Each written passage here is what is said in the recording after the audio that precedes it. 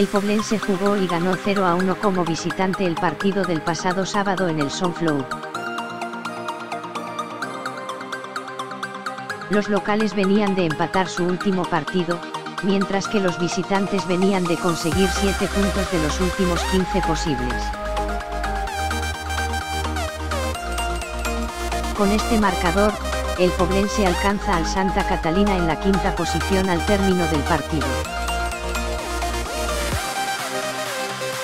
Durante la primera parte ninguno de los dos conjuntos estuvo afortunado de cara a la portería y acabó la primera parte con un marcador de 0 a 0.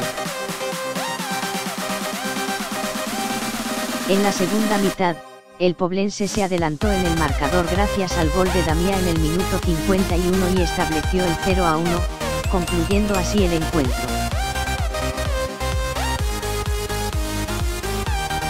Los entrenadores realizaron todos los cambios posibles.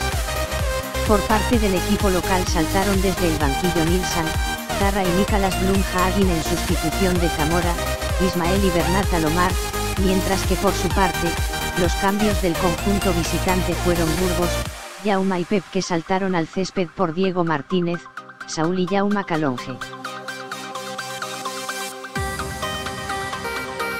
El árbitro mostró un total de cinco tarjetas, dos tarjetas amarillas al Santa Catalina, Iván y Ismael, y dos al Poblense, Saúl y Damián.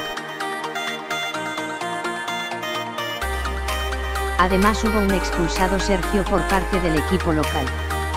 Con 50 puntos, el Poblense se ubica en el quinto puesto de la tabla general mientras que el conjunto dirigido por Francisco Navarrete Núñez se sitúa en octavo puesto con 35 puntos, al término del encuentro. La siguiente jornada enfrentará al Poblense con el Dosetense.